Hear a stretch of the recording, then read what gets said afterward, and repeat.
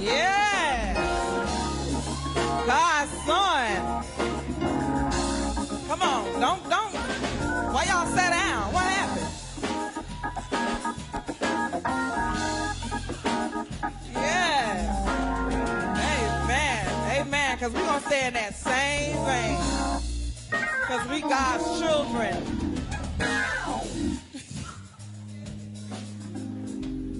Amen. I don't got nothing for you. I'm God's daughter. I'm God's daughter. amen, amen, amen, amen. Let's move it, let's move it, let's move it. Amen. Amen, amen, amen. Let's give a warm welcome to Dr. Ed Long Jr. Amen. Come on, y'all, give him a restored life welcome. Dr. Ed Long Jr. Amen. He is a native of Atlanta, Georgia, a Grammy Award winner. He's went to many schools and got doctorates and all that good stuff. I'm paraphrasing bio, so we want because I want to get out his way. Amen. Amen. Amen. Listen, he's no stranger to us. He's actually been here before. So let's treat him like he's at home. Amen. Embrace, pull on him. Amen. Get whatever you need. Amen. Amen. Come on, Dr. Ed Long. Amen.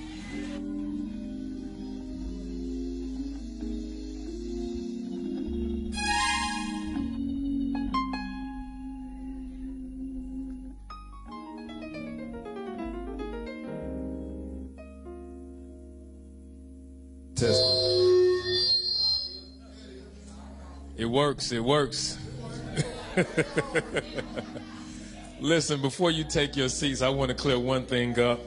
Um, our awesome officiant and leader for our youth. Can we make some noise for it? Can we put our hands together?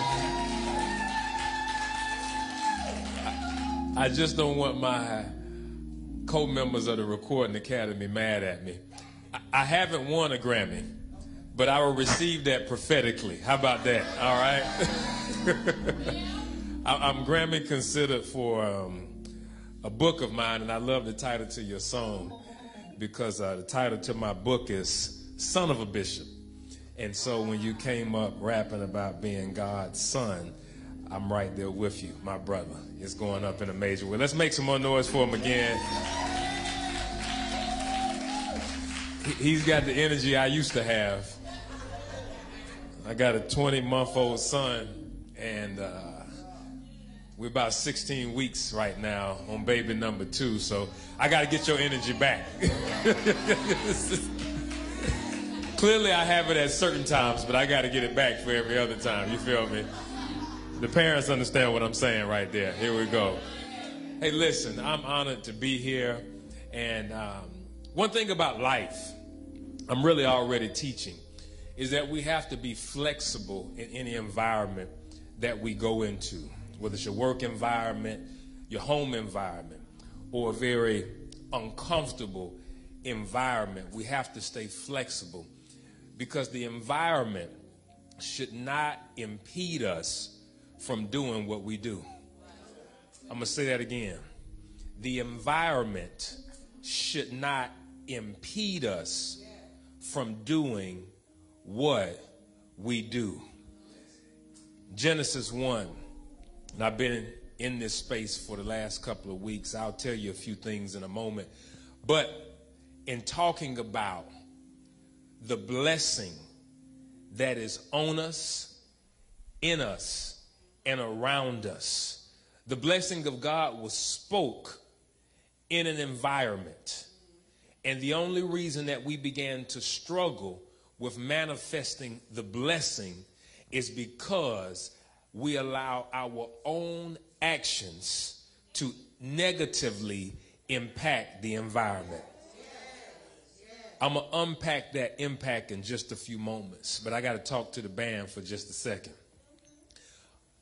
Unfortunately, I'm not able to plug my phone in. Usually, bands walk away for the first 30 minutes when the minister is up ministering. Y'all feel me? We can't do that today. So I don't know if we volunteer in our services or if we on church payroll. But either way it goes, we're going to earn it today.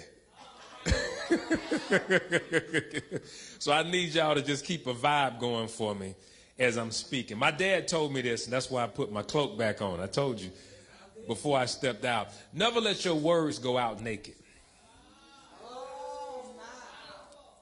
Never let your words go out naked. In Genesis, before God started speaking, let there be, the Spirit was moving. Y'all miss what I'm saying? God created an environment before he spoke his words. Never let your words go out naked. Don't send your word out if the environment has not been set. That's why we sing praise and worship before the preaching. Because the music, because the spirit begins to break up the ground. The spirit begins to do what the words don't have to work and fight to do. The spirit does some things that now when I speak a word, the ground is broken up that the word can take root. I'm going somewhere. I'm going somewhere. This helps relationships, ladies. Because don't no Negro want to come in the house. I know it's youth Sunday. But all of us are young. I'm looking at young faces all around this room 60 years young, 80 years young, 50 years young. I'm, looking at young faces all around this room, and even to the teenagers and the younger. I'm helping you already. Don't nobody, you don't want to be approached by nobody just, yeah, yeah, yeah, yeah, yeah, just running off at the mouth at you. But when we create an environment, baby, you know you look good. just something about the way you walked up in this house just got me excited. See, see, what's happening is that we're creating an environment. There's something else coming with that. You already know that you got a reprimand to present.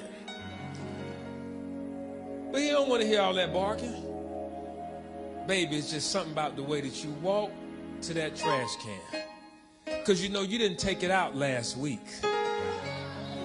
And that didn't make me feel appreciated that I had to do that. But I just like how you walk to that trash can. It just gets me excited. And then to even see you walk further out the door and grab that can on two wheels. Don't look at me. Look at the street when you pushing it to the curb because I like to see you, baby, from behind too. You, you, you see how you can create an environment before you speak a word, before you give a command or a demand to that man. You can create an environment. Mm.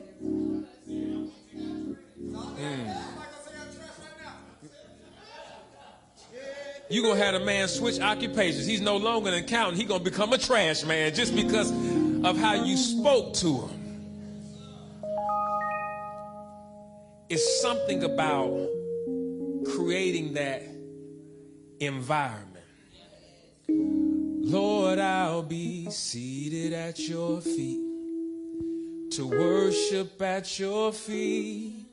I'll be right here at your feet forever.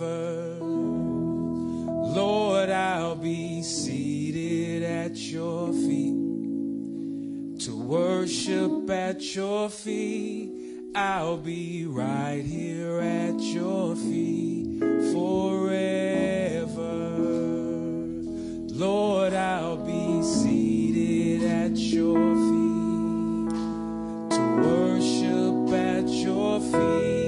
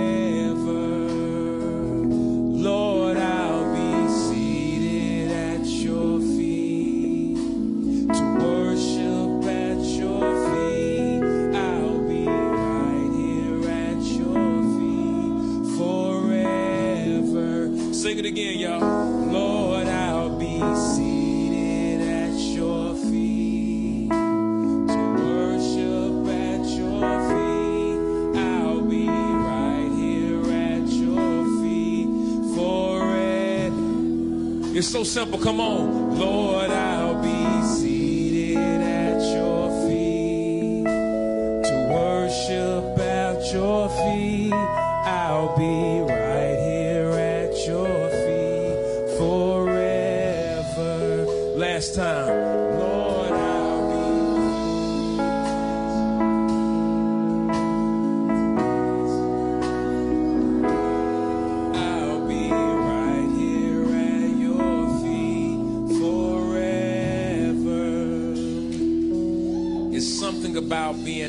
feet of God. Keep that going. Keep that plan. It's just something about being at the feet of God. For I'll make you to lay down in green pastures. Many of us have come into this new year hustling, working, grinding. I don't want this service to be that. This needs to be a moment of peace and recalibration for us today. A moment of understanding, refocus, a moment of realignment with the word. Worship at your feet. I'll be right here at your feet forever. I'll be at your feet worship at your. I'll be at your feet forever. Thank you, Lord.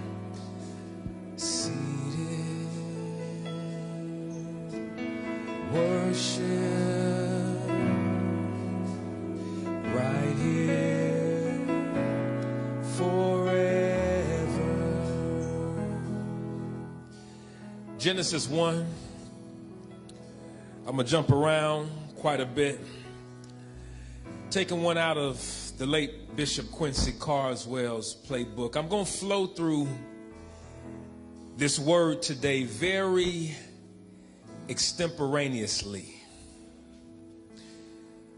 Some of us are, mm, as I said, extemporaneous, but don't know what it means. It's all right, I didn't know it when he first said it to me. I had to look it up. And all that getting, come on. It means to flow through something without going super deep, but sharing a general knowledge for the purpose of reception and impartation.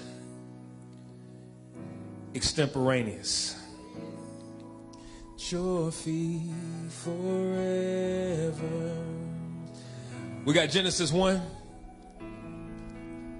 For those who don't know, it's the first book in the Bible. I want to honor Pastor John, Pastor Crossland for allowing me to be in this space again on today, this new place. Apostle called it the junkyard. That's going to make sense to y'all in a moment. Genesis 1, I'm going to jump around 1 through 2, and then we're going to tap 6 through 10. Listen, anytime we read the word of the Lord, and I know you just took your seat, we stand and we reverence the word. I'm going to tell you why as we work through this. Verse 1 In the beginning, God created the heavens with an S and the earth. And now the earth was formless and empty. Darkness was over the surface of the deep, and the Spirit of God was hovering over the waters.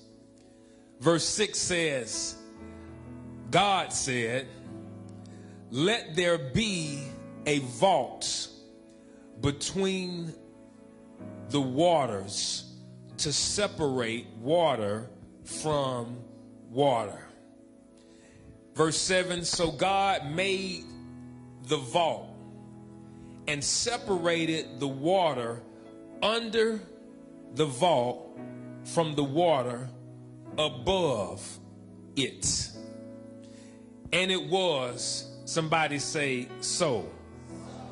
God called the vault the sky. And there was then evening, and there was morning the second day. Verse 9 And God said, Let the water under the sky be gathered to one place, and let dry ground appear. And it was, somebody say, so. Verse 10 God called the dry ground land, and the gathered waters he called seas. And God saw that it was what? Good.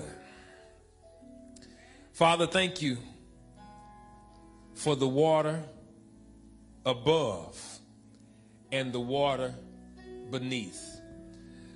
We thank you for the separation that you did so we can know how to navigate our courses of life.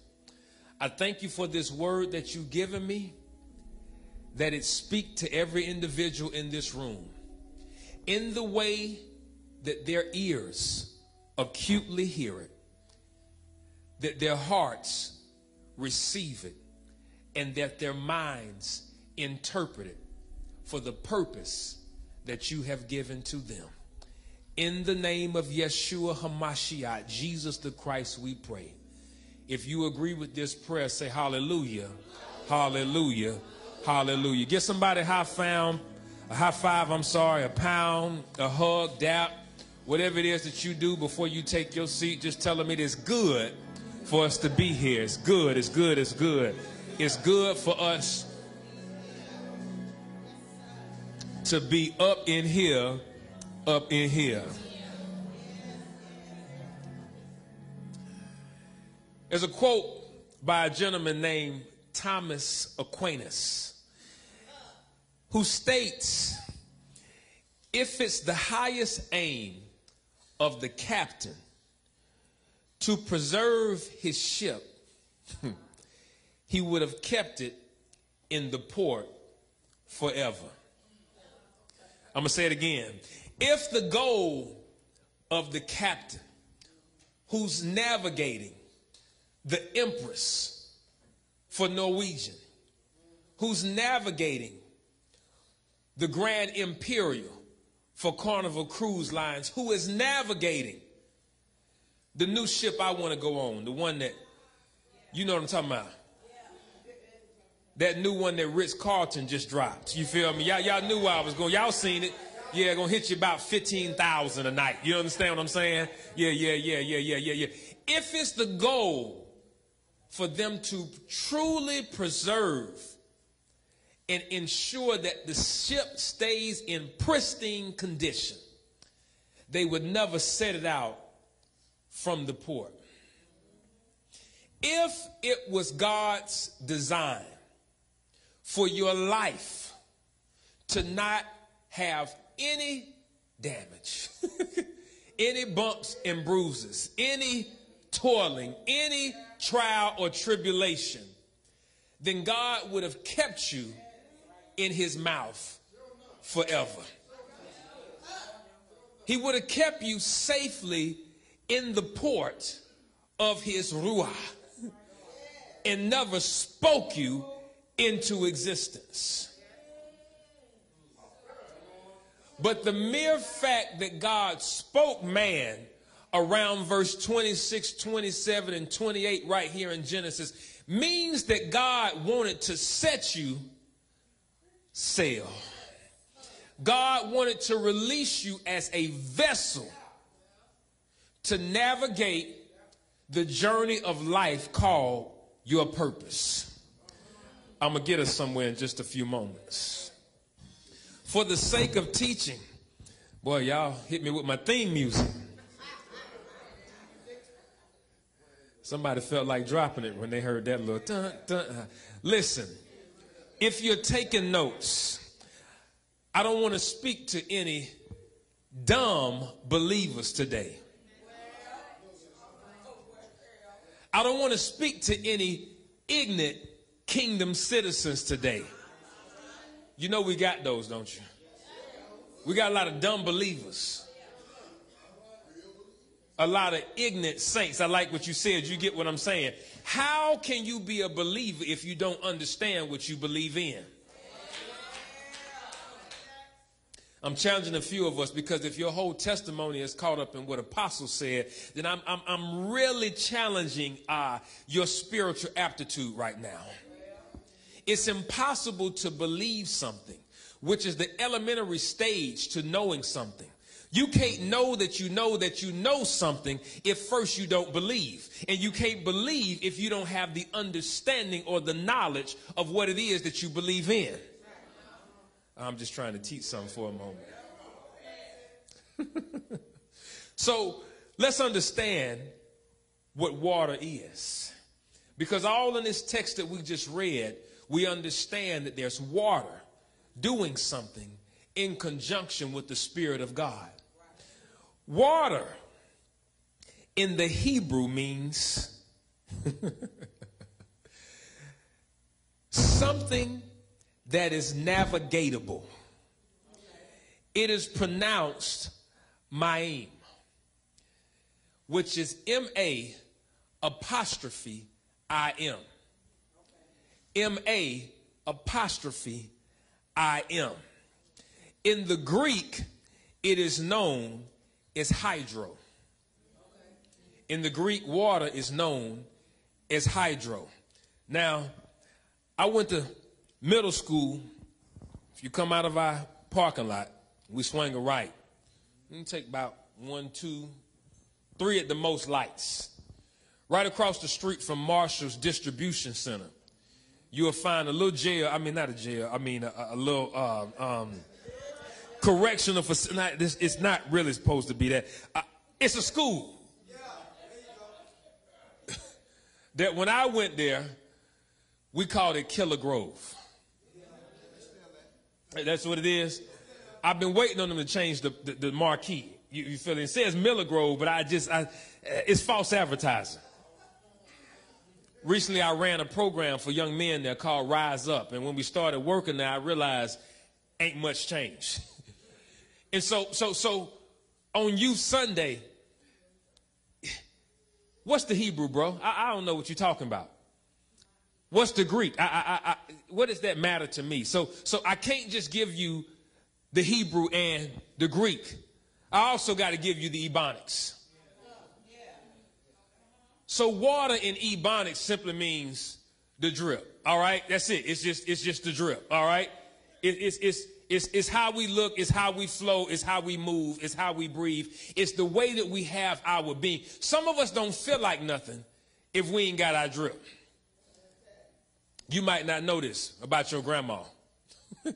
but if she don't have on her pearls, she just don't feel the same. you, understand what I'm saying? On first Sunday, without her hat, that's her drip. It just don't feel the same. So some of us, if we ain't decorated a certain way, we just don't feel the same. But the ultimate drip is being in the flow with God. We're going to get somewhere real soon. I'm not going to take too much of your time. I'm not, I'm not going to mess you. I mean, football season is over, so the fellas really ain't got nowhere to go. But, but I, but I, I understand. I, I understand. We got to eat and we got some things that we have to do. So, so I want to, I want to look at a ship from the sake of alliteration. All right. A ship is a large vessel that travels the world's oceans, navigating waterways, carrying cargo and passengers, supporting specialized missions such as defense, research, and of course, fishing. There's a lot of things involved with the ship, all right? a vessel.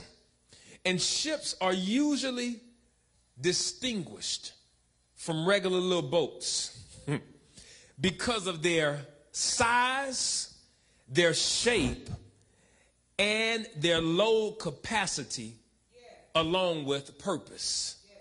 Now, the last time I checked, hmm, there was a song that used to say, Use me, Lord, to show someone the way and enable me to. My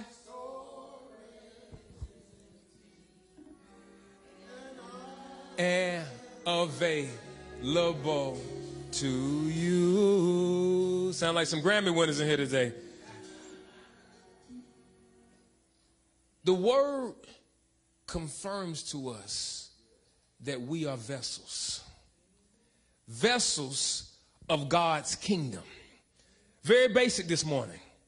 And so, if I understand that I am a vessel, which is a maritime term, maritime meaning the law of the seas, then I'm connected to God in a different kind of way than everybody else that's walking up and down Covington Highway. I understand that as a vessel, I'm a ship. I'm not a boat, but I am a ship. And I'm carrying something with me cargo for God's kingdom. Not only am I carrying something, I'm carrying someone. I'm carrying a heritage with me. I'm carrying a lineage with me. I'm carrying transformation all within me. I am a vessel of God. As we recognize, I don't call it Black History Month because I'm not a color. I don't call it African this and all these type of things. I call it Kingdom Diaspora Month. Because I came out of God before I ever got any type of pigment. Before we were placed in a place called Africa, Africa, I was with God the Father. And what happened is that when them folk who don't quite look like us threw us on them boats. What they did not realize is that they were carrying ships. and they were trying to disrupt what was in us, but brought us over here to this place. And though things were temporarily thrown off, my mind is waking up to who I am. My spirit is waking up to who I am. My ears are hearing God in a new way. Everybody else ain't getting the message, and that's okay because God is tapping me to go out there and remind them of what I'm waking up to in here today. I am a kingdom son. I am a kingdom daughter, and there is purpose in and on my life. I heard a brother Rico Love say it like this. Somebody say, The gift is in me the anointing is on me and the purpose is moving about me. Come on, y'all. The gift is in me, the anointing is on me, and the purpose is all around me. And so it's not my job just to come up in here to church today just to get a word to serve my spirit. To be honest with you, I don't care if you shout or not. Because I've seen many people go to church, run, shout, foam at the mouth, run up and down the aisles, but been in debt their whole life. They have conformed to church traditional environment. But the scripture didn't call us to be conformed to anything. It caused us to be transformed by the renewing of our mind. And so if I'm coming up in here today my whole challenge for being in here right now is to cause you to renew your mind. It's time out for all the church antics. It's time for us to rise up and get back to who we were called to be. I don't know about you all, but I want to teach you something. God loves using the youth. Hear me. Hear me. Hear me. That's right. Scream, shout. That's it. Use that voice. Come into them words. It's people in this room who are jealous of y'all right now. Because you remind them of the opportunities that they missed.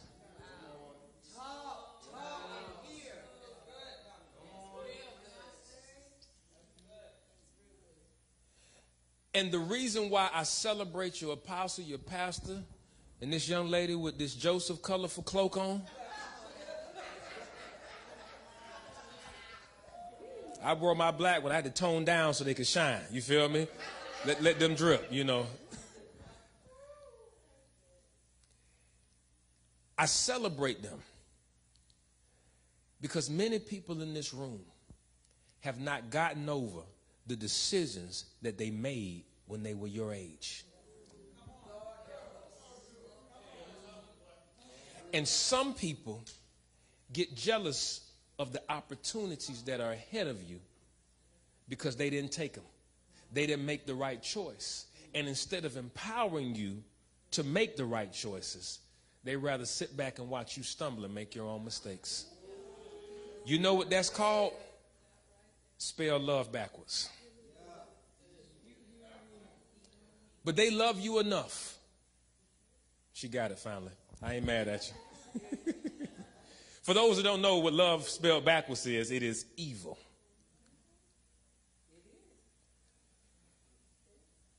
I challenge you all to suck up everything that's being presented so that your life can go further faster than ours have.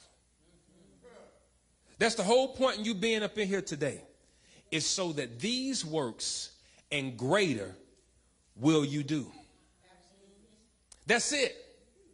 God loves using the youth because when it comes to people who are a little bit more older, younger than y'all, they had too many bad experiences that they stopped listening to God.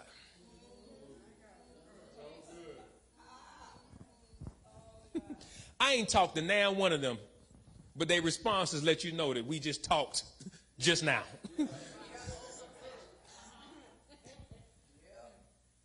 ain't no cap today.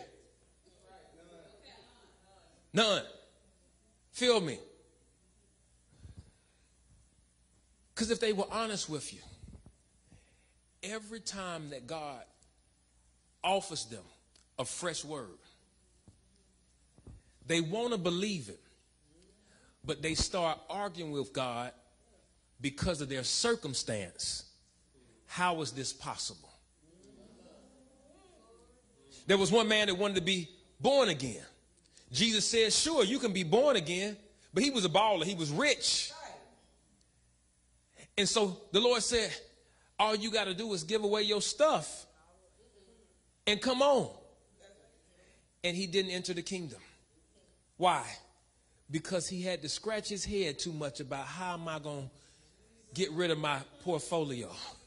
How am I going to get rid of my good credit and do, uh, uh, how am I going to dismiss all that I have amassed, all that I have accumulated and worked for in life to be in your He had to work through too much stuff to receive the blessing.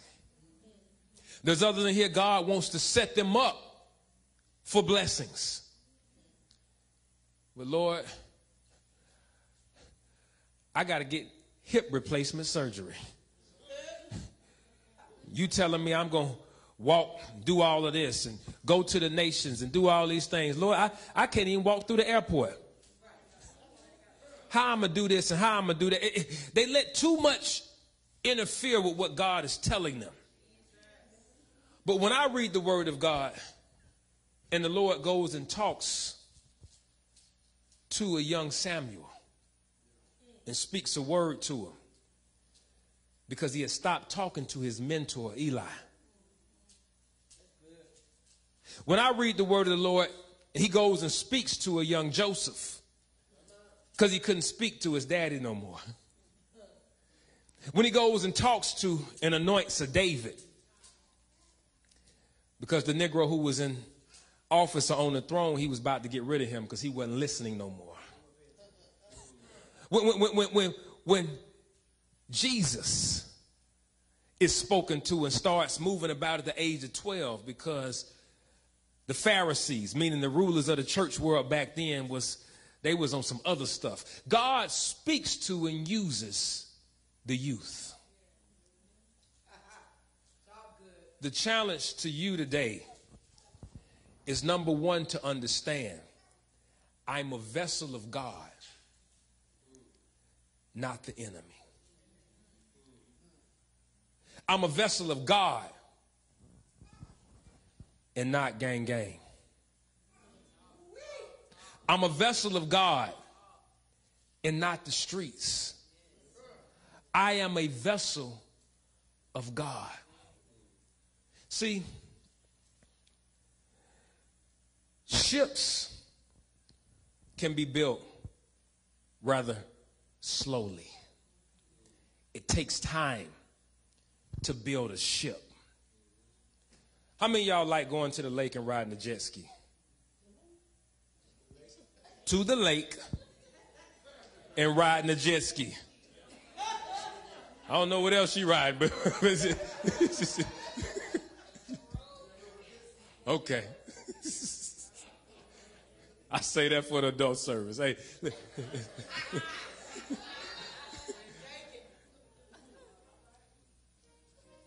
Jet skis can be built like that.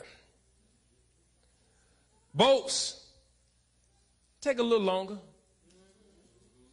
But but but they can be turned out rather quickly. But I was watching the documentary on how long it took them to build the Titanic. We're talking about years in the making. What am I saying?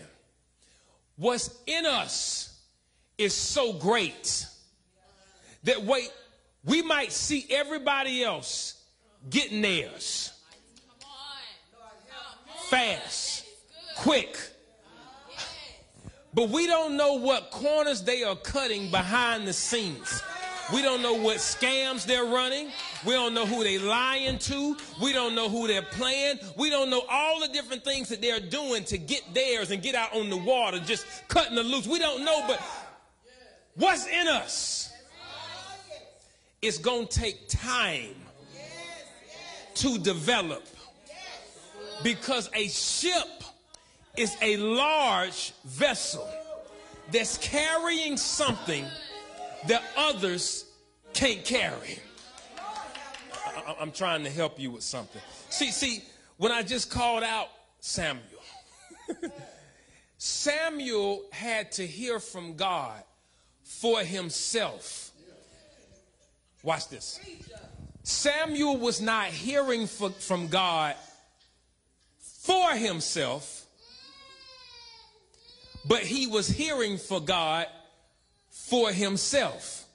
I'm going to make sense in a minute. He had to hear from God for himself so he then could help everybody else. Because hearing from God was developing in him his prophetic gift in order to have impact on everybody that he was going to come into contact with. That's why he couldn't mix with everybody. He couldn't learn from everybody. He couldn't sit underneath everybody. You cannot give everybody your attention. You can't give everybody your attention. I lost a lot of time giving too many folks my attention. I remember when I was at Miller Grove, right? There's a little song that came out. This little guy who just performed at the Super Bowl, Usher Bowls, one of them, I don't know what it's called, but but but he came out and they was holding him up in the crowd. He said, "Turn down for what?" I don't took her back. So when I was in sixth, seventh, eighth grade, he had another song. Who you with? Who you with? Who you with? Get crunk. Who you with? Who you with? A town. Who you with? What's up? Who you with? Get crunk. Who you with? Hey, to the flow. To the. No, stop. Now let me see. See. See. We rebuked that already. We, we don't dealt with that. I, I ain't coming here to conjure that back up. That's how you got in that situation in the first place.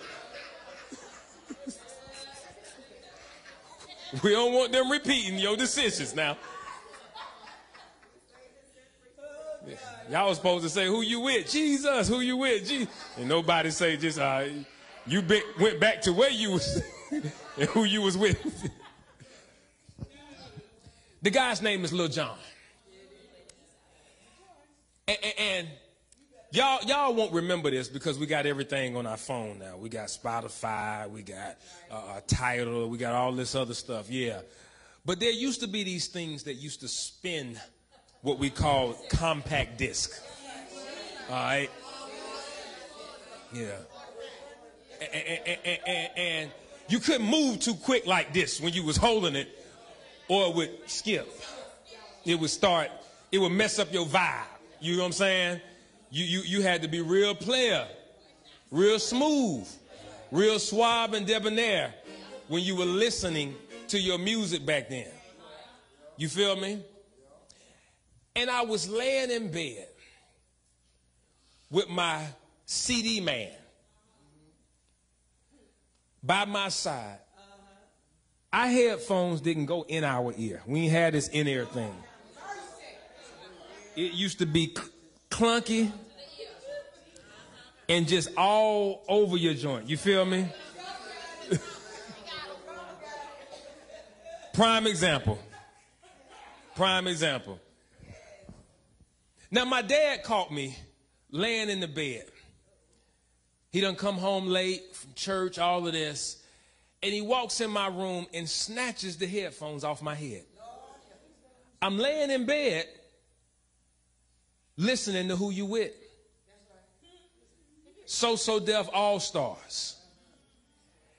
And as he snatches the headphones off of my head, he looked at me and said, Stop giving the devil access.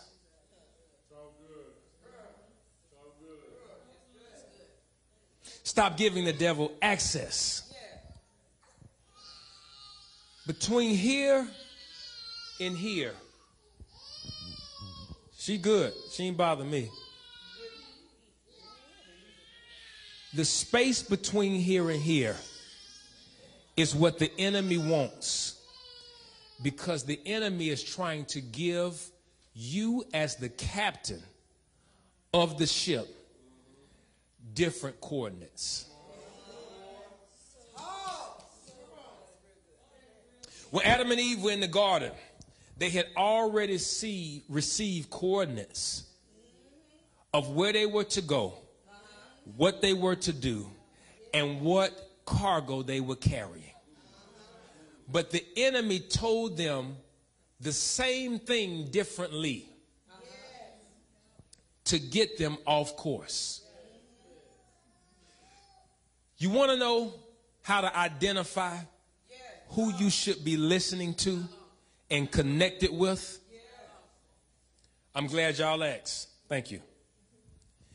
If somebody is telling you something different than what the Word of God is telling you, or your parents are telling you, then they're trying to lead you to a different destination.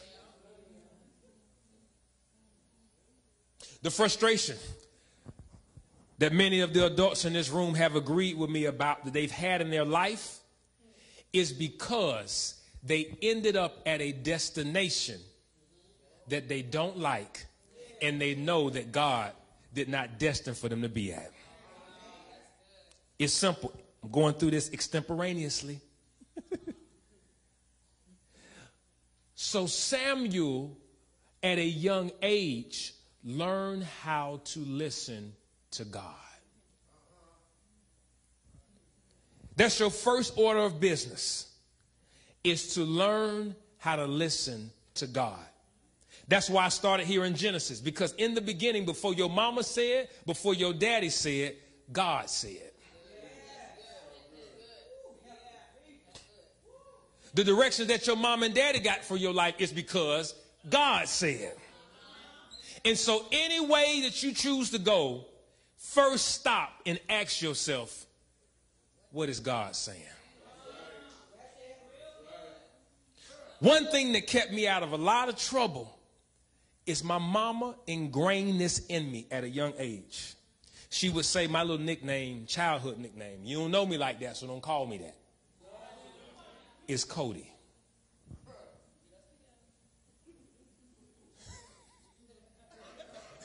you got. and she would look at me before she would send me off to school and she would say, Cody, make sure that you stop and think. Those little three seconds can change your life. When somebody extends you an invite, don't just say, oh, yeah, cool, I'm going, girl. Yeah, I'm with you. No, no, no. Let me stop and think. How does what we about to do? Where does what we about where we, where we about to go? Who is who we about to see? How is that aligned with what God said and what my folks said? And if it's not in alignment, then you trying to get me off course. It ain't tough. I ain't had to toil over this. It's real simple. If it's not in alignment with the direction that God is sending me, then it's trying to get me out of alignment and off course. You know, NASA Space Center was looking to launch a rocket to outer space carrying a satellite to position in a certain space in order to serve us here back in humanity. Watch this. A rocket, a ship, was carrying satellite communications, reverberating word into space, into a set location, in order to amplify the voice, the word of God, the communication of God. What happened is that the mathematician, the NASA space scientist, who was a part of the launch team, put the coordinates in correctly. But when they launched the rocket carrying the satellite to reverberate and amplify the word of God, the communication of God to humanity here on earth and around earth, the rocket went to the wrong place. Now, how did this happen? Because the scientists did the math right, but had the terminology wrong. Used the wrong metric system instead of putting the coordinates in concerning feet, he put the coordinates in concerning meters. And so shot the right ship in the wrong direction.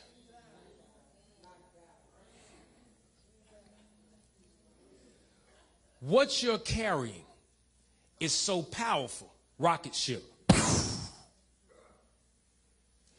so precious. Satellite. To God, His Word, communicating it to others. That we have to be focused on God and God alone because we cannot afford to get the metrics wrong.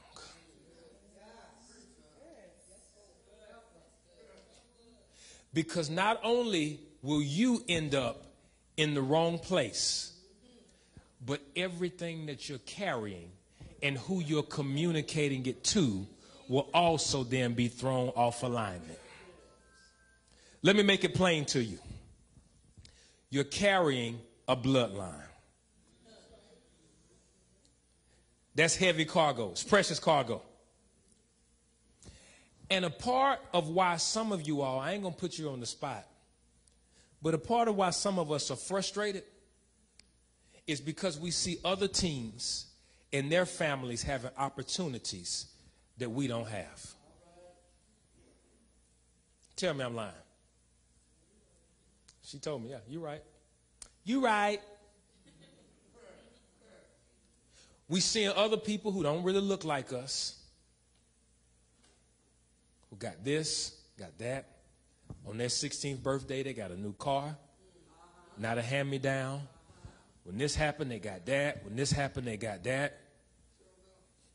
Many of them got two parents showing up at everything. They, they, they, and we don't have none of that. A big reason why is because the ship that was carrying us got off course.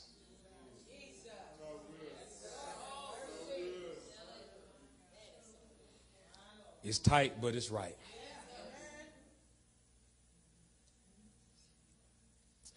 What's inside of you is so important. Precious cargo. And if you don't know it, I'm going to tell you who does know it the enemy. The enemy knew what Adam and Eve were carrying probably more than they did. Why? Because he had it at one point and lost it. The enemy was in authority with God, but got off course and God removed him. There are people that don't like you simply because of the potential that you have that they have lost. And so I stepped in here today to challenge you to recognize what you have and don't waste it concerning some Negroes that don't even know what life is about. You're too valuable. And every day counts. The world is moving faster now than it's ever moved before.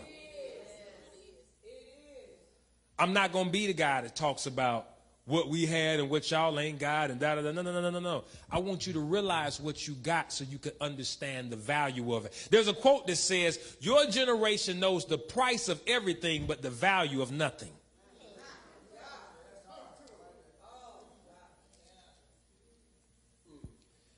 How much do you cost? She know the price. Yep. Yep. But what's the value of them? Let me help you determine what the value of something is versus the price of it. The price is when we walk in the shop. Oh, mom, can I get them right there? Yeah, come on, everybody got them. The man just came in church Sunday talking about the Mayim or whatever he was saying in the hydro and, and the drip. Come on, that, that's the drip right there. Mom, can I get them? Can I get them? Well, how much is that, baby? What'd you say? 150? Ooh, I don't know about that. Why, mom? Come on, everybody else on my timeline just got them. They just, oh, uh, come on, mom, why not? Ma is saying, I don't know. Because you're looking at the price, and Ma understands the value. The value is, well, I love spending time with you. But if I go get them for you, and I'm making $20 an hour, and I already got to pay for this, and I already got to pay for that, then the value of those is 150 to you, but the value of them is 10 hours I got to be away from you to get you those. And that's 10 hours that I'm spending time over here in this place with these folk who I can't stand and who can't stand me. That I got 10 hours now that I'm concerned or worried about what you're doing and who is influencing you in them 10 hours that I'm away from you.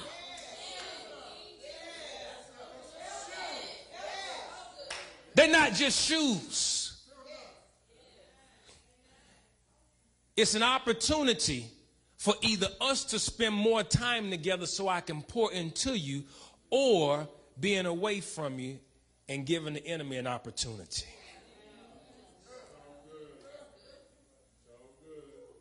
change how you look at everything that you spend. Think about it spending money, spending time, spending. We're spending. Why I said you got to be careful who you're spending time with, who gets your ears. When we talk about ships, there are multiple types of ships. Somebody say, I'm a ship. I'm a ship. But what kind of ship are you? And what kind of ships are in the port with you? You need to know these things so you know who you're setting sail with. Hear me. Not S A I L. S A I L means the wind that I'm catching. You need to know that as well as the S E L L. Who am I selling my attention to? Who am I selling my ear to? Who, who, who, who, who am I allowing the space? And then who's speaking the wind into me? What direction is it blowing me? Different types of ships that there are. We got relation.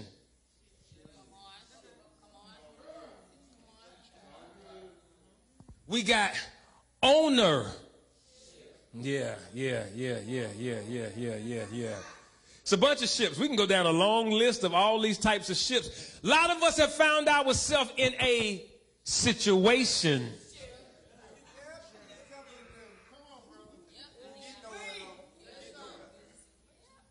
And usually we're in a situationship because we allow anybody to blow, sold ourselves, and, and, all of a sudden we wake up and say, Where in the heaven am I?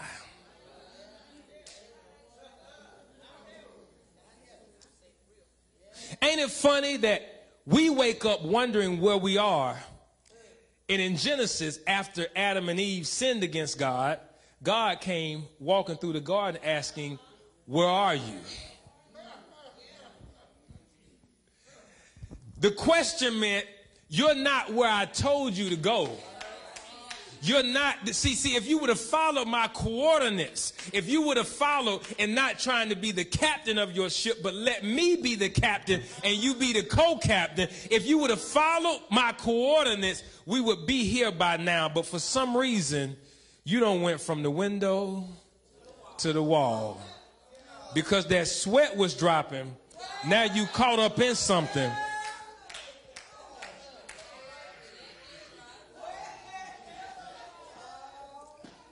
A situationship. So I stopped by. Is it still morning? Nope, it's afternoon. This afternoon, I'm about to wrap. To help some of us and lead others of us back on course. It's not difficult. Let me get where I'm going. We can, we can settle this ship and set sail. Point one learn to hear from God. Samuels. I got to get something for the girls. Help me with a name. Samantha, I like that. Yeah, I like that because they it's too much stuff in y'all generation. Too many confusions. They, them, thou, thou, not.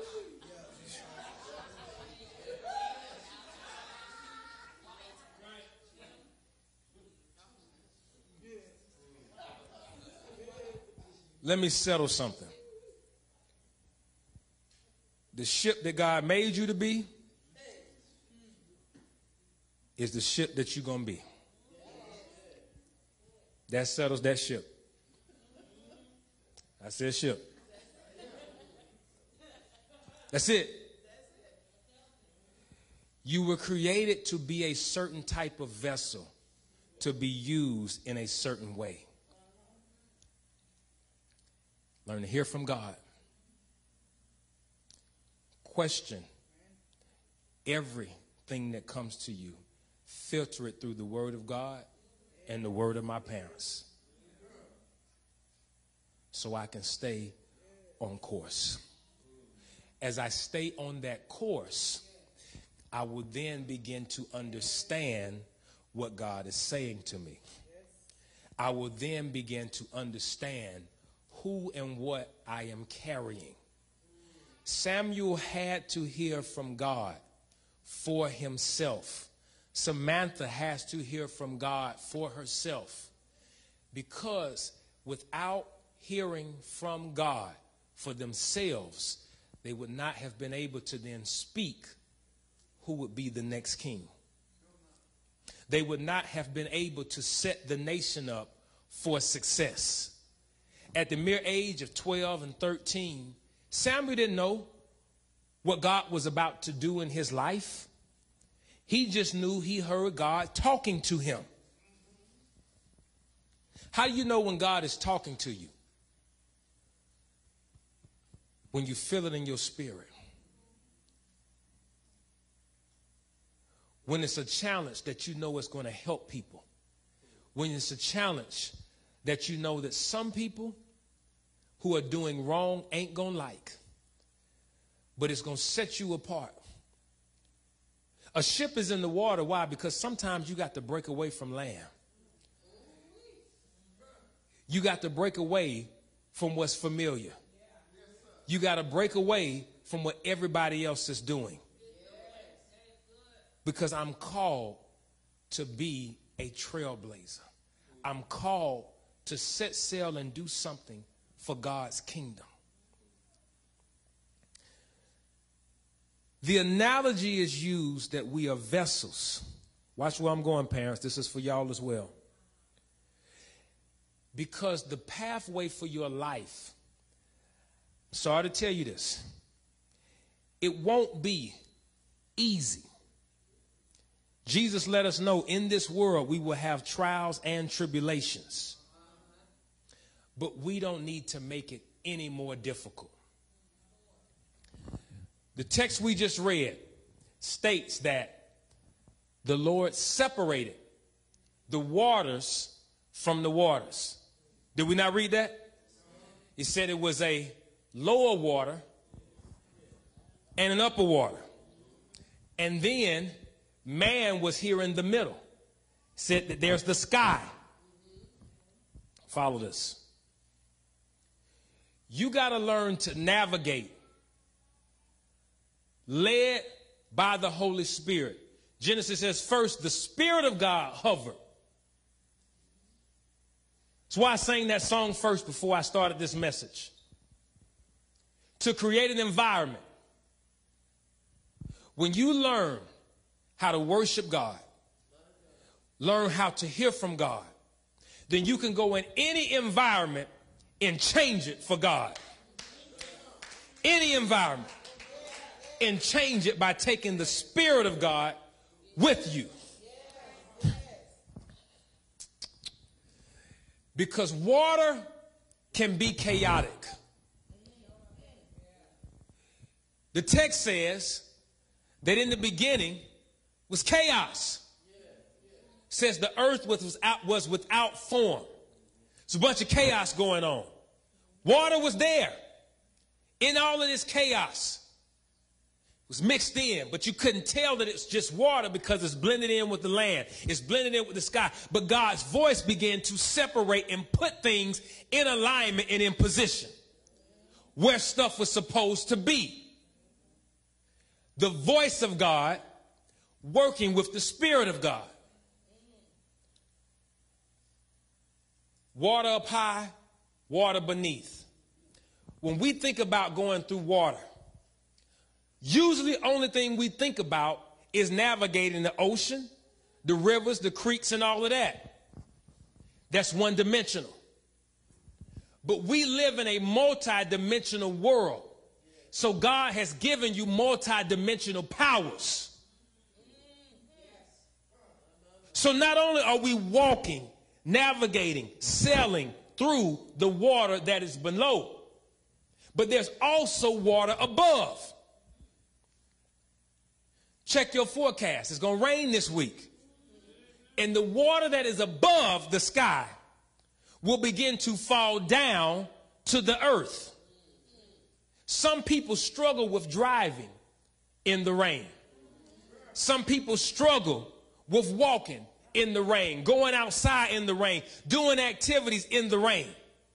But when you develop the ear to hear from God and the ability to worship God and flow with the Spirit of God, then you will learn to dance in the rain. In any situation that your life will face, you will know how to navigate because I'm a ship of God. I'm a vessel of God. And now I know how to move through life. I know y'all ain't heard it like this before, but it's what the book said. You just read it. I don't want you all to become like the generations before that get polarized by situations and circumstances in life that don't move when it's raining. They only know how to be one dimensional and walk on one surface. You are a generation that's called to be able to navigate multi dimensions fluidly because you got the drip. Our grandparents came from an era where they kept their money in the mattress. Then came the debit card and the credit card. Most of them still hadn't gotten one. Never wanted to use a check one, only could do things one way. And now they're struggling in a crypto world. Come on. Come on but you have the ability to help the previous generations through their shortcomings, as well as advance the emerging generations and be a voice of God to them and to them. Tell me I'm lying.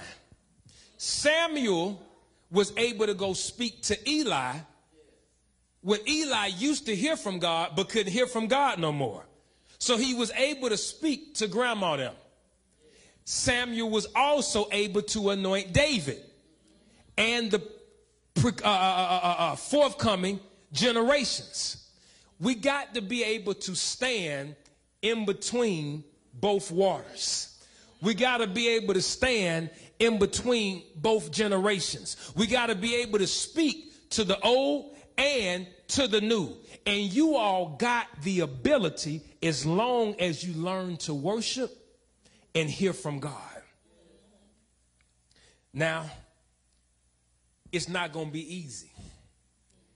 It's not easy to say no to certain things. I've been there. But ask yourself this Is it worth my life to be in with everybody else? I'm about to close. It's not a deep word, extemporaneously. I was at the best HBCU.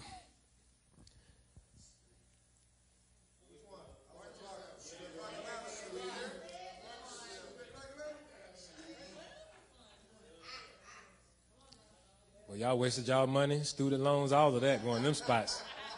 I don't know. Listen to me. I'm not going to direct you wrong. Go to FAMU if you're going to go to a HBCU. Block all them out. That's why they frustrated now because they made a bad decision. that, that's, that, that's, you know they crazy, right? Yeah. Now you know why. Made a bad decision. So while I was at FAM, came home one weekend, one of my closest friends is a music producer named Rico Love. Another one of my friends, very close, D Town, part of the Corner Boys, music producer, all that. My mom was a flight attendant, and she was staying at a hotel by the airport for a layover. Now, I live with my dad at this time. Come home. We living in the city of the rock, Lithonia, Lithos, and I tell my dad I'm finna go to my mom's hotel. I'm gonna kick it with her for the night. All right, cool. Let me know you get there. What I didn't tell him is that my partners, Rico, they, they had invited me to a club called The Deck. Y'all remember The Deck? All right. The Deck gone, Jazzy T's gone, all that. It's just done. That whole little shopping center gone. Done. On my way to visit my mom, my friends called me. At the time, Bone Crusher had a little record that was doing this thing. You outside of the car, you think I'm a bum. Y'all ain't saved, boy. I tell you, this, y'all everything. I hear you. I, I hear you. I'm gonna see what y'all do outside in the parking lot.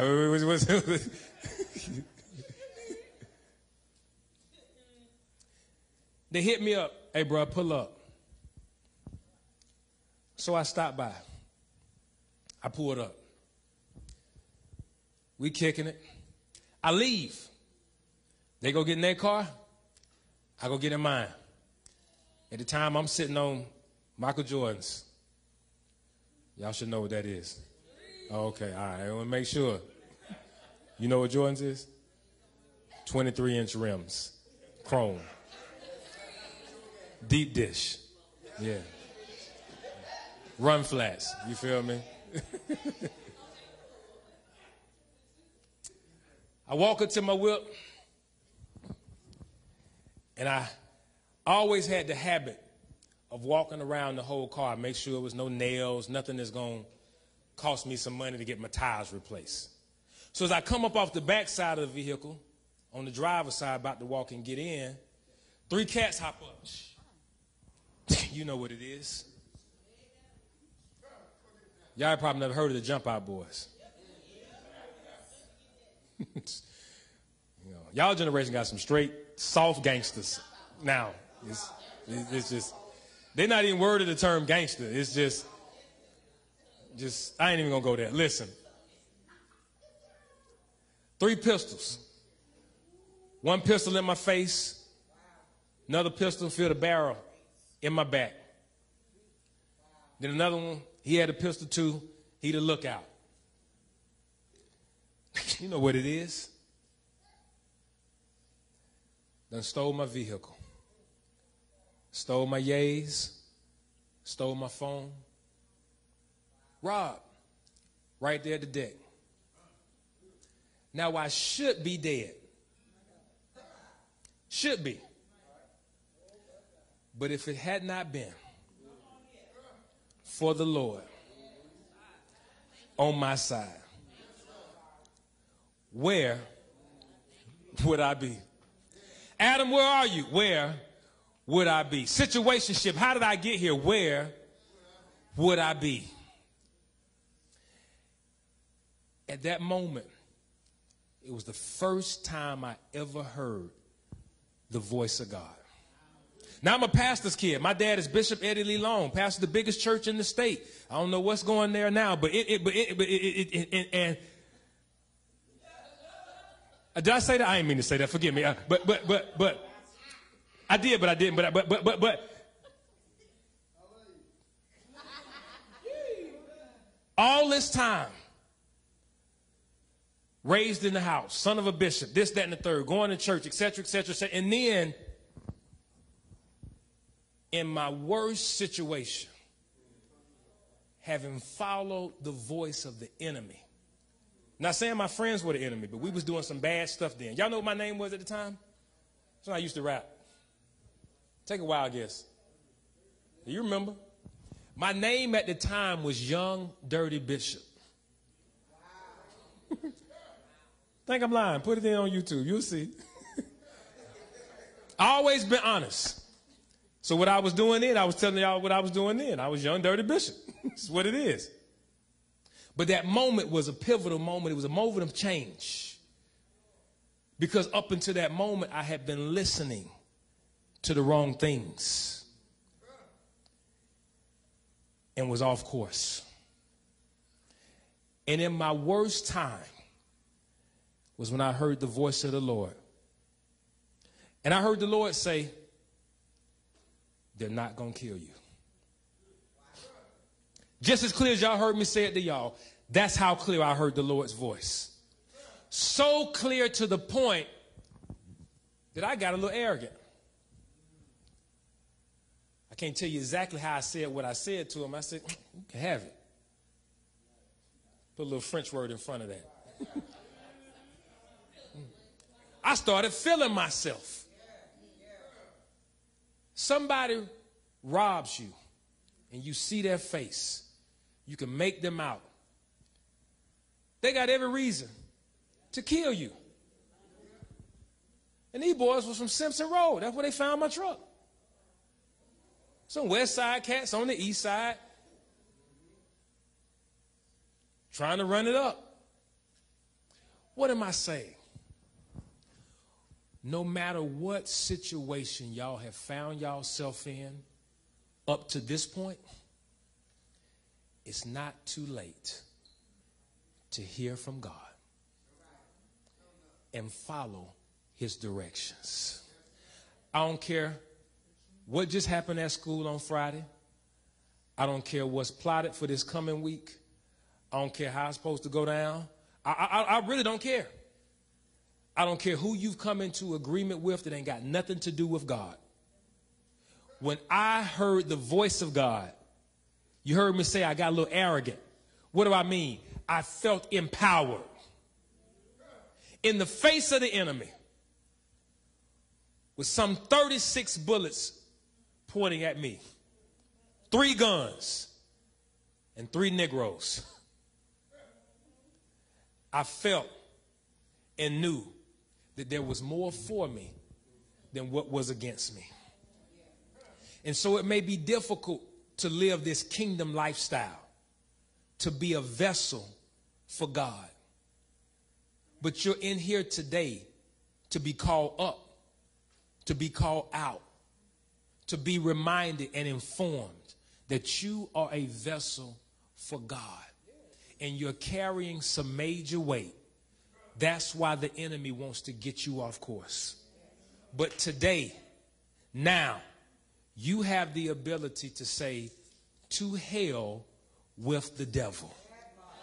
Go back to where you, whoever the guy is that's been trying to get in your pants, bro, I'm not with it whoever they are who trying to get you off course and get you to do something that's going to have you in a situation that you will be sitting in a space of god dog i wish i would have listened to that slim ball head cat. I don't really know much of what he was talking about but i got some of what he was talking about and i wish i would have listened to some of he got that i was talking about when he was talking. Don't want to see you in that situation. And so today choose to listen to god I can't control when you will hear the audible voice of God. Who's got a Bible? Now, no phone. I need a, I need a, I need a, there we go. Good, good, colorful, ocean colored. It's the right Bible for the right moment. I can't control your Samuel moment when God speaks to you three times. I couldn't control mine. It was in my worst situation. You mean tell me all the altars I've been at, all the youth conferences, all the youth Sundays, and this is when you speak God? Couldn't control that. But I'm so glad he did. We can't control that moment, but we can control this moment. If you want to hear God speak, start reading this. I gave you a head start today. That's why we started at Genesis 1. Genesis 1 and 1, in the beginning. Because no matter where we find ourselves, no matter what situation, I'm even speaking to the parents now, we can always have a new beginning. We can always start over. If the GPA is 2.8, 1.6, or 3.6, Monday is a new beginning. I can start doing my homework now. I can start reading, I can start writing, I can start listening, I can start applying myself, I can start telling certain people no, I can start telling the right things yes. All of us are at a new beginning. Think about a ship. Thank you, sweetheart. Everybody standing. Think about a ship is that it's always in the water. you feel me? All the way at the seventh row. That, that one skipped over everybody else. And all the way to the seventh row. Ship is always in the water. which means it's always in position to be clean. It's always in position to be washed off. It's always in position to be refreshed. Fun fact as we're closing.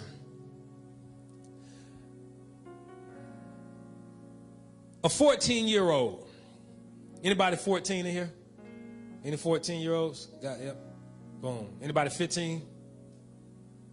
13? 15 right there. 13, 12, 16, 17, 18. The youngest person in the world, 14 year old, named Laura Dekker, was the youngest person in the world to sail solo around the globe. As a ship, as a vessel of God, you're not too young to do great things. You're not too young to do great exploits. You're not too young for the drip. Because the strongest storms make the best sailors.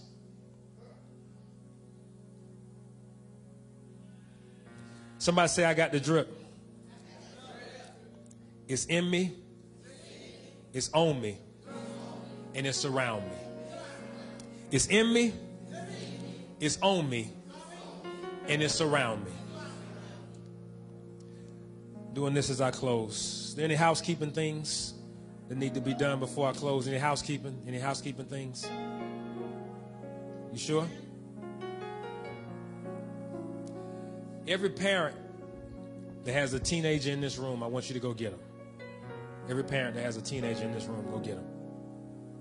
Set sail. Don't teenagers don't move. I didn't tell you to move. We got to learn how to listen. I didn't tell any teenager to move. I said every parent that has a teenager in this room, you go to them. Set sail to them. Set sail. Set sail to them. Set sail. Is there any teenager that your parent is not here today and you're standing solo? Any teenager? Got one? Anybody else? Anyone else? I want to make sure everybody's covered. Pastor, could you, okay, Pastor, if you don't mind, you can get with this young lady. Now, this is not for the microphone, but it's for your home. So it's not something that needs to be projected for everybody's ears to hear, but this is for your home. If we're honest, as parents, some of us have got our son and our daughter off course. We got them off course because of the decisions that we made even before they were conceived. Then we had some addictions that we couldn't break, we couldn't shake, that they witnessed us flow in, and that they've picked up on. The residue got on them, splash. The water from your ship caused the wave that has impacted theirs. And we've struggled to admit that. Ain't no change without admittance. It was one that was wild, eating wild locusts that came yelling, Repent. Repent simply means to change our mind.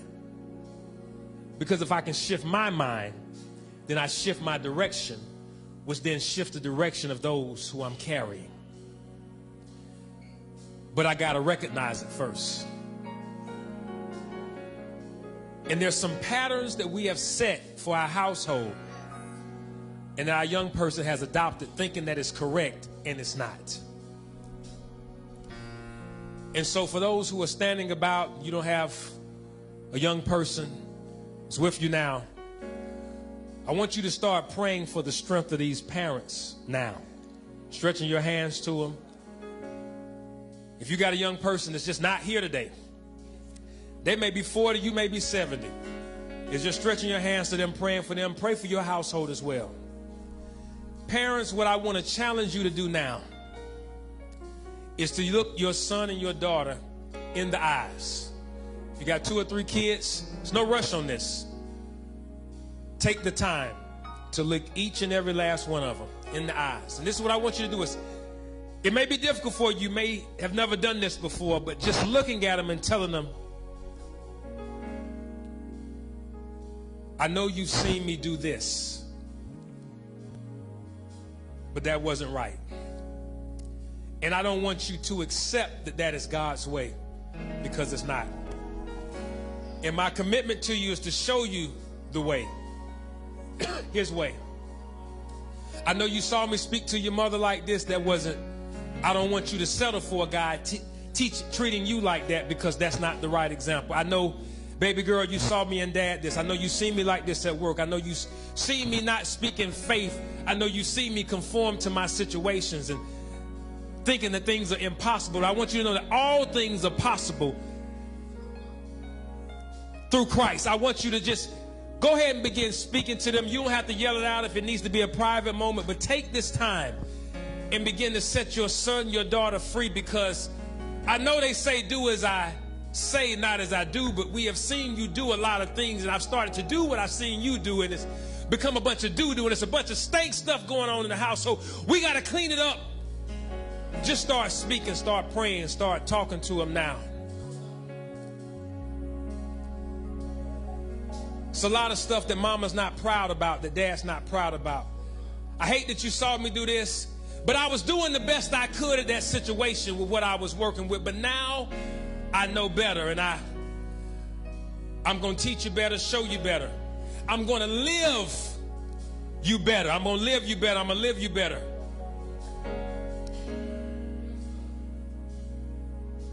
as I'm cutting through these deep waters, I got to be honest with you, it hadn't been easy. But I don't want to make it any more difficult for you than it has to be. And so I'm going to navigate this thing. I'm going to drive this boat right. I'm going to move us forward in the right way. I'm going to show you how to handle your money. I'm going to support your dreams. I'm going to begin to spend more time with you so you can understand both the price and the value of things. I don't know how long God is going to be, give me with you, but I'm going to maximize the time that we have together. Speak into your son, speak into your daughter. Speak, speak, speak. This is breaking some stuff up right now. I'm seeing some tears already flowing. These words needed to be said. I know we've gone a little long today. You messed up asking an Ed Long to come in here because we were going to go long, but it's, it's necessary. You didn't know it, but there are some things that have been locked up in your words in this environment, this Holy Ghost filled environment, are the key to break some things up. Mama, I've been waiting for you to say this. I've been, I've been upset with you.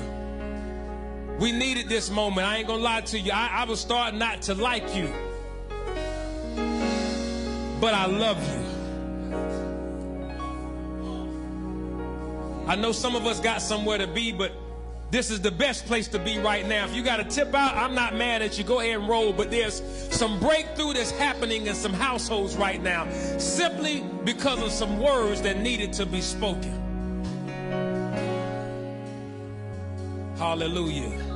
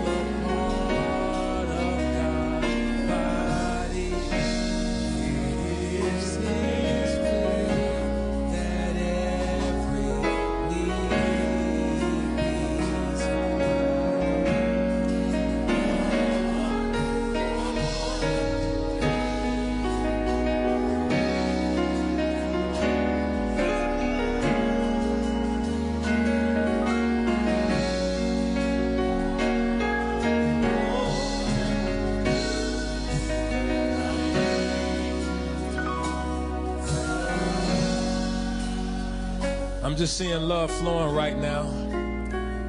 And I don't want to interrupt. When we talk about the Spirit, we're challenged to do, I'm sorry, not do two things concerning the Spirit. That's to vex the Holy Spirit or quench the Holy Spirit. Quench meaning to restrict. So you may have gotten yours, but there are others who still getting theirs. Just wanting to make sure that every house is covered right now.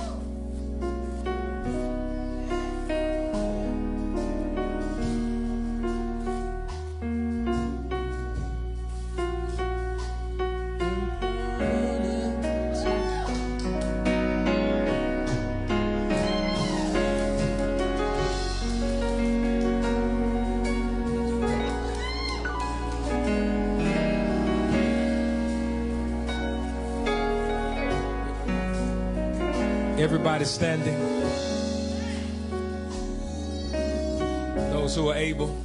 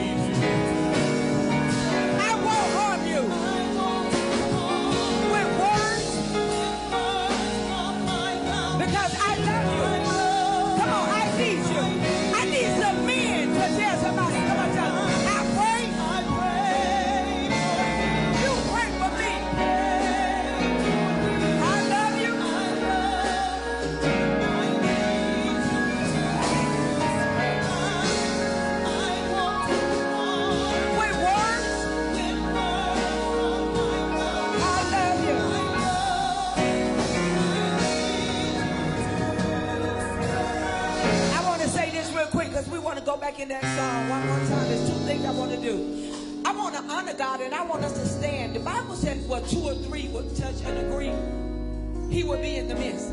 I'm a strong believer. I'm a strong believer in the Word of God. Are y'all with me? Prophet, elders, all y'all, are y'all with me? Sister Chantrice and I've been praying for years. Some, uh, Elder Lily and all of the prayer team to get up Monday through Friday from 6 a.m. to 6.30 a.m. We have been praying for one young man who was beh- behind prison bars for 19 years. 19 years. And while we in Sunday school, he walked in the building.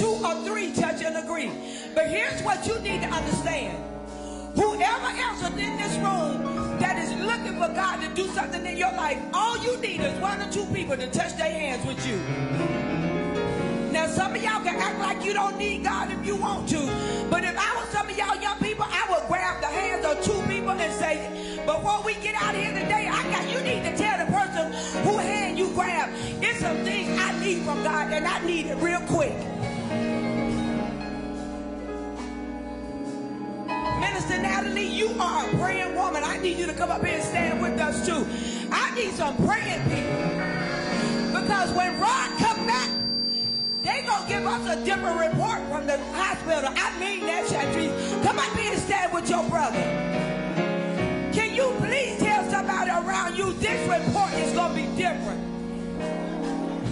Oh no, I need you to, I need some real people. Come on, say it out loud. This report is going to turn around. Well, come on, I need y'all to open up your mouth as Minister Long lay hands, him and a marriage on this man. And we are going to believe God. We're going to believe God. Come on. Going to believe God. Come on. Going to believe God. Somebody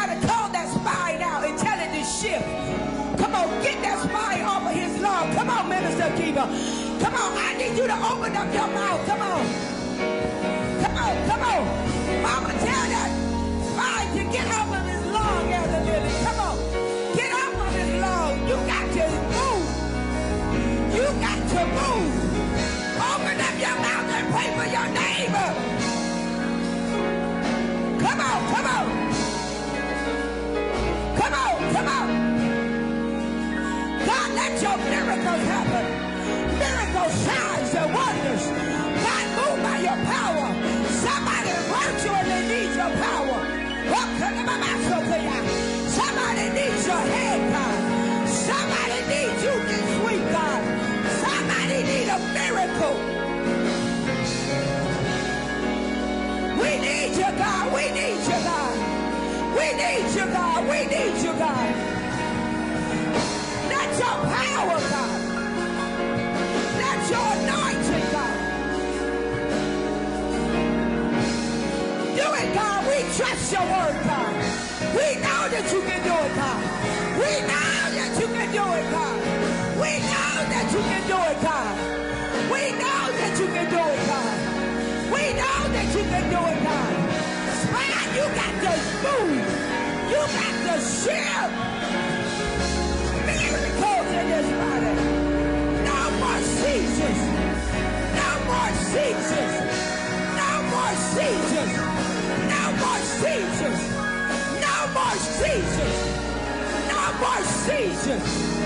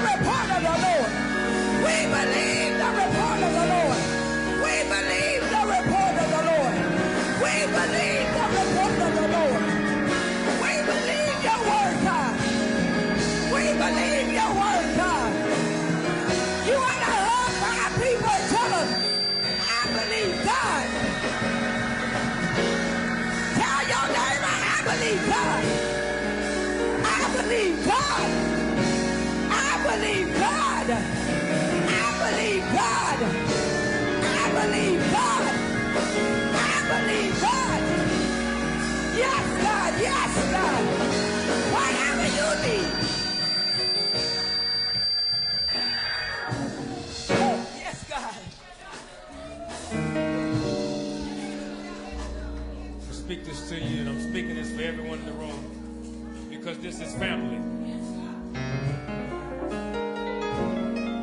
There is a method to the miracle, and the method for you is faith in continuing to believe. I'm believing for you, they all are believing for you.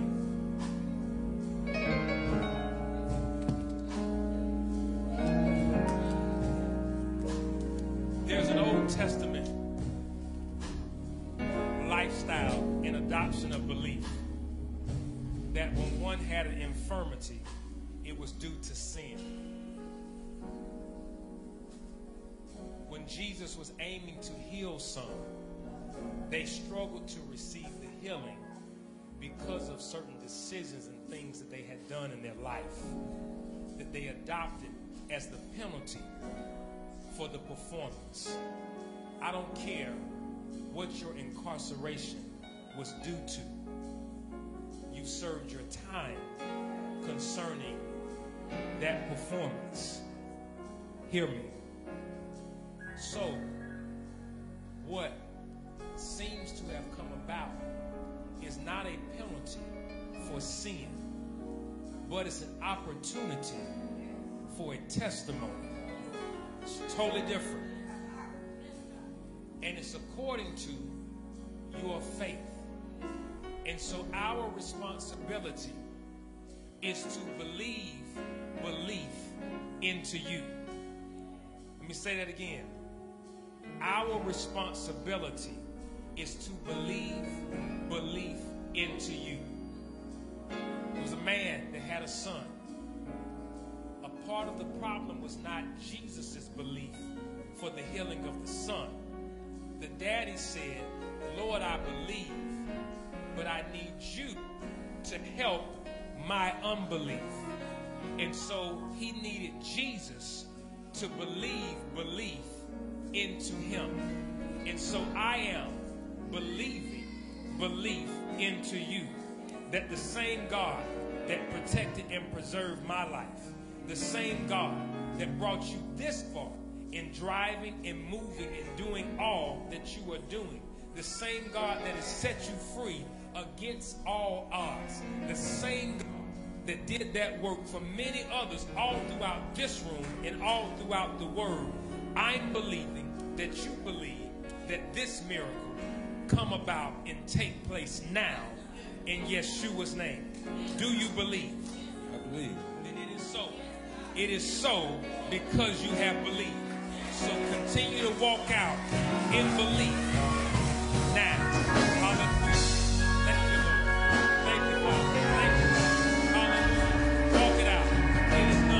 It is done. It is done. It is done. It is done. It is done. We're believing. We're believing belief. We are believing belief in Jesus' name. Hallelujah. Keep your praise going. We believe and believe in Jesus' name.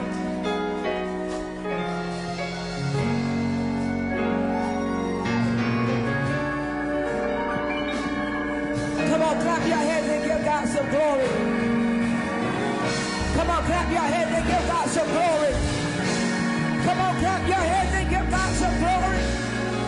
I dare you to touch some people around you and tell them it's done. It's done.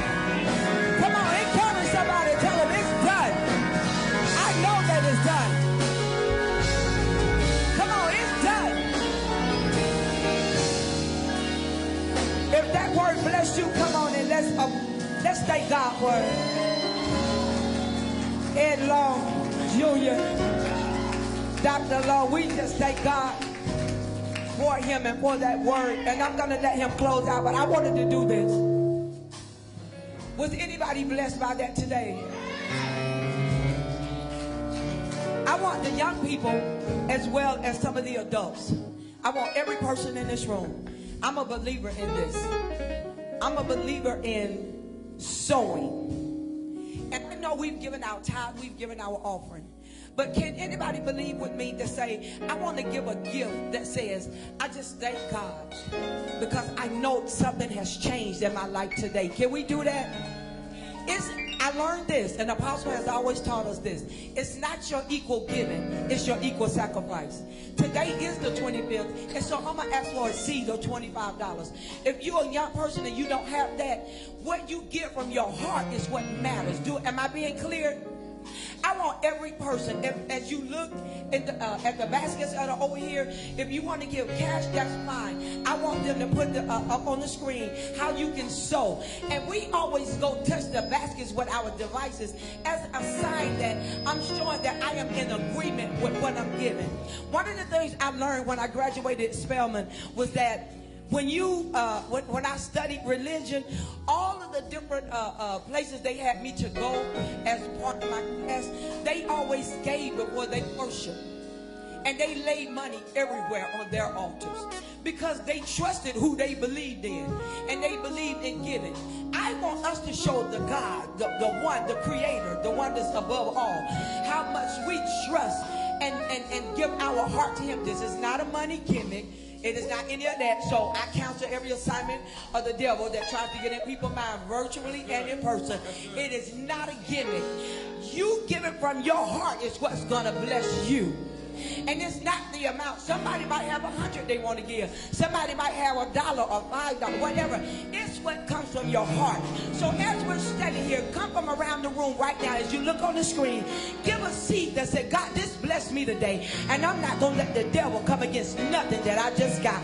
Come on, every person. If you don't have the 25, give something. Give something and tell the Lord thank you. Come on, as Dr. Long come back and close us out, we get ready to go home. We're going to eat dinner, have a good afternoon. But that word was a blessing to the people and to the body of Christ. Those virtually and those that are in the room. And as you give and come to your seat, open up and say, I thank God for this word.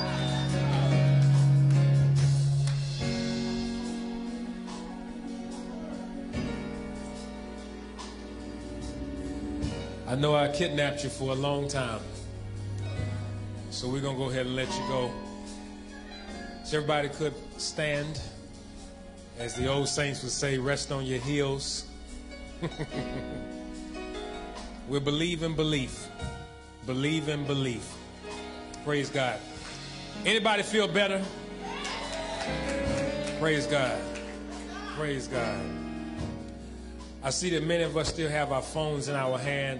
If you're still giving, just raise your hand because I'm going to ask you to do something else with your phone, so I don't want to distract you. Give them a few more seconds. I don't know, Coach, how quickly we can put prompts on the screen or not. If, if we can't, it's okay. Don't worry about it. Um, I want you all to text me, all right? I want to stay in touch with everyone in the room, uh, all of our clergy leadership, as well as all of our lay members and parishioners. I want to stay in touch with you because there are a lot of things that we are doing. Quite a few people have asked me, man, what do you have going on, etc. And this is the best way for me to keep you informed as to what we have going on. Family members and I have launched what we call the Long Center, the Long Center for God. And it is a hybrid. If you can imagine, church meets impact center. We're kind of in the middle of that street. The analogy that I use oftentimes is that if you go downtown on the east side of Atlanta, you have on one side of the street Ebenezer Baptist Church, and then on the opposite side of the street, you have the King Center. One focuses on the spiritual development and impact, and the other focuses on human services. Well, we would be the street between both of those, a center that focuses on both. And so we gather on Saturdays. We gather on Saturdays, and it's an opportunity, no matter what church anyone may be a part of, to come and just be edified in the Word of God, meaning to learn, so that we can go and have greater impact in this region and throughout the world. And so, if you can, I want you to text the name LONG, L O N G.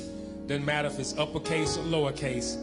Text LONG to this number 404 999 5787. That's texting long, L O N G, to 404 999 5787. You should receive a link back. A link should come right back to you. It's amazing. I can text everybody all at once with no phone in my hand. Isn't that crazy? So I just sent everybody a link back that did that. Click on that link, fill out your information, and click on compete, complete. I'm sorry, and we will be connected. All right. You can holler at me anytime, and we will stay connected just like that. All right. I thank you all for receiving me. Thank you all for reaching out. Thank you all for reaching out and having me, hosting me during this set time. It means the world to me. You all don't know. It means the world to me. I never take an opportunity to speak to the sheep that are being shepherded for granted. Our benediction is very simple. If we all agree and have come into covenant on this word moving forward and taking action in our lives, let's simply say these words after me God, you said it. We believe it that settles it. Hug somebody, give somebody a high five, squeeze them real good. Go in peace.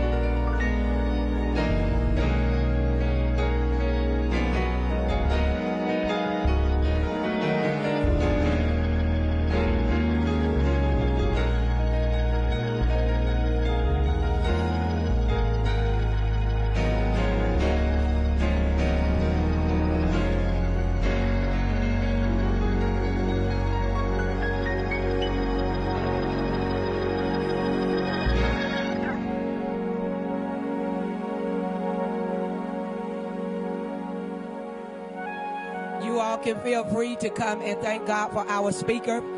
Please feel free. He would love to just speak to everybody. Come, feel free to come and say hello to the speaker.